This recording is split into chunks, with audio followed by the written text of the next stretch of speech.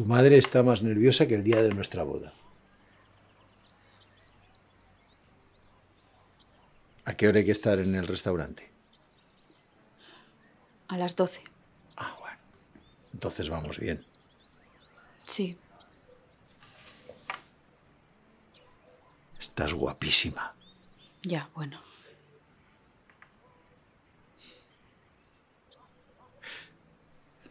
¿Te acuerdas lo que te costó aprender a nadar?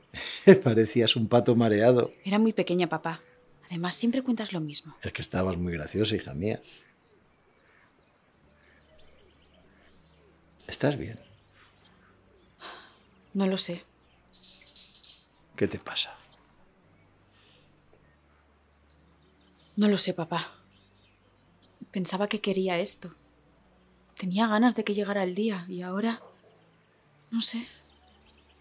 Está todo el mundo tan ilusionado ahí dentro.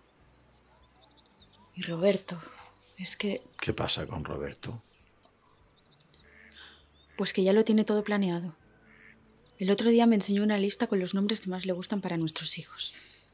Yo todavía no sé si quiero tener hijos, es que no lo sé, papá.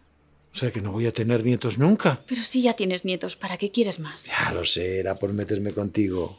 Bueno, era un ejemplo. El caso es que no quiero tener el resto de mi vida planeada.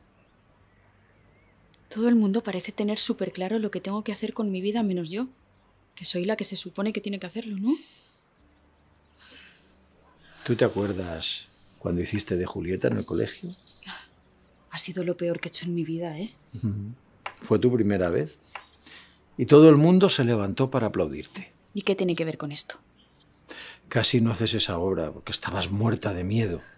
Recuerdo que, que, no parabas de decir, ¿y si no lo hago bien? ¿Y si a la gente no le gusta? Siempre pendiente en lo que los demás esperan de ti. Pero luego lo hiciste. Y no por nadie, sino por ti, porque querías ser actriz. Y mírate ahora. Ya. ¿Tú quieres a Roberto? Claro que lo quiero, papá. Pues entonces, entonces haz lo que tú quieras hacer.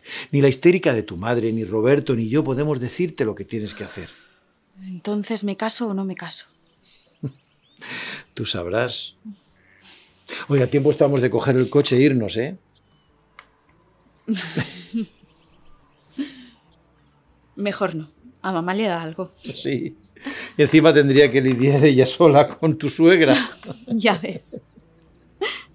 Lo que le faltaba ya. Antonio, vístete ya, que llegamos tarde. Voy, cariño. Hablando de que nadie te diga lo que tienes que hacer. Gracias, papá. Te veo dentro. Sí.